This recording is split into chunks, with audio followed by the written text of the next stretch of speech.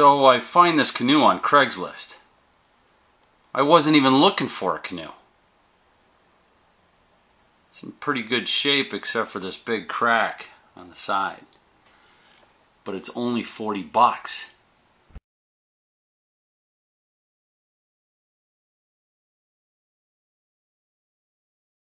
I'm going to start out by repairing the big crack first. So I've got all my tools together here. I just use an angle grinder with a cutting wheel and I've got some other cutting or abrasive options as well and different wheels. I also always wear a mask when I'm working with uh, fiberglass. A, a, cheap simple mask like this will work fine. Um, fiberglass particles once they get into your lungs never go away. Your body can't uh, they can't get rid of that glass. So it's really recommended that you wear some kind of mask to filter out the particles that you're going to be creating when you're uh, prepping the area. Now I've used a uh, permanent marker here to kind of map out an area that I'm going to be preparing. Um, just by eyeballing it I can tell there's damage that's carried through uh, where the impact happened. So you, it may be counterintuitive to cause more damage but actually you're getting uh, rid of any of the weaknesses around the crack itself that was caused when the impact happened. I tested this out basically by just pounding around it and there's no real inherent weaknesses that were caused by this. It's just that this gets micro cracks all the way around it when something hits it that hard and I want to get rid of all that. Before I start, I want to say too that working with fiberglass is extremely easy. You do not have to be a genius to do this. It's it's pretty straightforward. There are a couple tricks of the trade to the whole thing and and everybody kind of has their own way to be honest with you. And I'm going to show you one way to do it, but there are other ways to do this same job. The one thing I want to avoid in doing this, I could make this really, really strong. I could make this repair much stronger than the rest of the canoe, but that doesn't do me any good. Actually, then I'm creating a weak spot where the patch is and it where it buckles up to the rest of the canoe. So I'm going to try to actually, when I do this, it'll be stronger than it was originally, but it just won't be one big glob of super hard resin. I want it to flex with the rest of the canoe. Keep that in mind when you're making repairs like this. That wouldn't matter as much if I was doing this on my automobile, let's say on a bumper. But on a canoe, you still want to maintain a flex in the material itself. Here, but I wanted to show you this. See how once you start cutting in here, you can see there's more damage done from that impact, and you may run into that. And so the crack is going to get bigger and scarier sometimes while you're repairing. And when I'm done, it appears that I have more damage and a bigger hole than what I started with, but really I'm getting rid of any of the weakened fiberglass that was around what we could just see on the surface, the uh, crack itself. And so, you know, I'd rather bite into it more even than I have to just to get rid of any weaknesses and then go back and repair it. So in the end, again, it may seem worse than when you started, but that's the correct way to do it. Get rid of any of that weakness. Now I flipped the canoe over, the which is nice because I can get to the other side of the hull in a canoe pretty easy. And I'm going to rough up, you know, the area around on the inside as well because this is actually where I'll start the repair on the inside. On boats, you can't always do that because boats, boats are usually double hulled and you can't get to the other side. On a canoe like this, that's what makes it so easy that you can get to both sides. I'm going to make this a nice smooth cloth repair on the inside and that's going to be my base for laying the repair from the outside.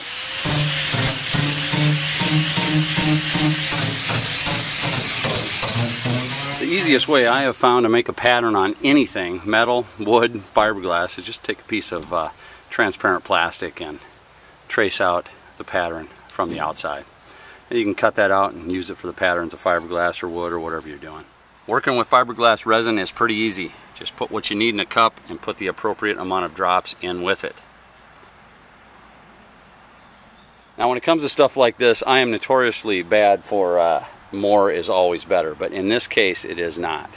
Uh, too much hardener will actually weaken the resin, so just put in what it's recommended. Also, when you're mixing, don't stir to add bubbles. Just stir to mix. It's another little trick. Gosh, I love the smell of this stuff, man. This brings back a lot of memories. I took like advanced fiberglass resin shop class in high school. I start out with a really thin fiberglass mat and when that hardens up it'll be the perfect platform to put on a thick cloth. When you're putting this on try not to wipe as much as you're blotting. You just want to saturate the fiberglass. A lot of people will soak the mat first and then put it on, but I think that's, I don't know. I don't like to do that. It just makes a mess, really. You end up with too much resin. So I'm a blotter, not a soaker. Not sure if that sounds right. And working with resins, you don't have to wait 24 hours for it to completely cure. I mean, this has been 15 minutes and I'm ready to go to work already. So I've cut out a piece of fiberglass cloth. And this will be my final layer on the inside. The material itself is so easy to spread out. If there's a curve or if there's a bump, you know, you can just kind of stretch it out into that area. It smooths out real nice. And again, the best way to put it on is just blotting it in to saturate it. There's really no strength that you can count on in the resin itself. The strength is in the fiberglass. The resin just makes it stiff.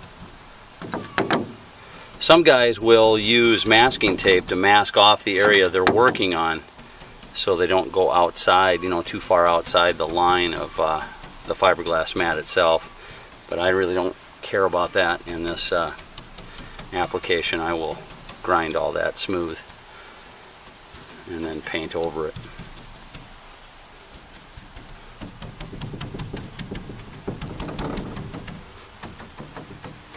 Want to make sure there's no air pockets in between the layers. So now I flipped it back over and I've got a nice clean flat surface to work with. So with another piece of cloth I laid up another layer and again, just looking for air bubbles and blotting it in.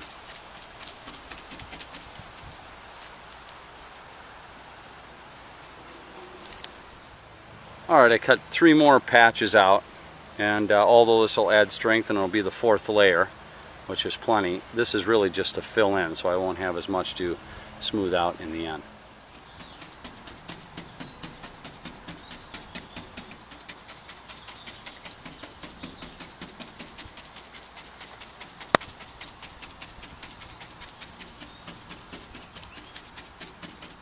After just a few layers, I've got adequate hull strength in that repair area. The repaired area is actually stronger than the uh, original chop shot uh, fiberglass layup that was uh, used in the 70s. So if I wanted to, I could just throw some paint on this and use the canoe as is, but uh, I'm going to work on the aesthetics a little better. I'm going to fill it in with some uh, Kevlar waterproof filler and smooth it out and hopefully you won't even be able to see the damage.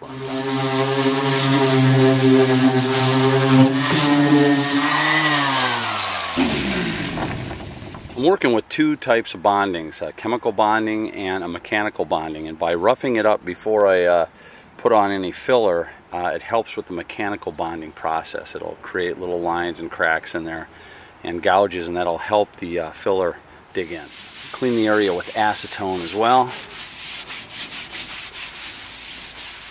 The filler I'm using is from Evercoat and it's actually got uh, Kevlar strands inside of it. Uh, it's pretty easy to do. Just like the resin, you mix the appropriate amount of hardener in it. You got about uh, four or five minutes to work with it and uh, it sets up in about an hour. We'll make this boo-boo look a lot better.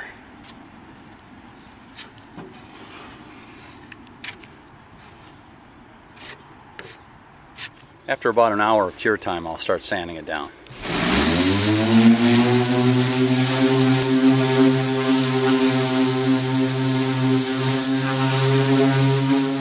Finish up with a skim coat.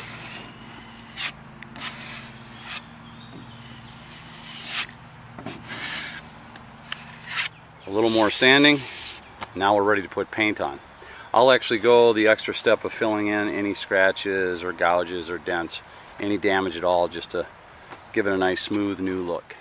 You could use regular auto body or Bondo filler to do this kind of work as well, especially on a canoe.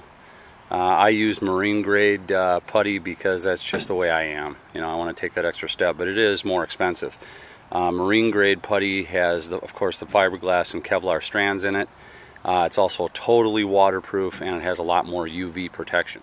marine grade Bondo uh, could be used on a boat that's going to be left in the water all the time. With a canoe, you don't have to worry about that. You're taking the canoe out for a you know a relatively short time, and then taking it out of the water all the time. Most canoes don't sit in the water.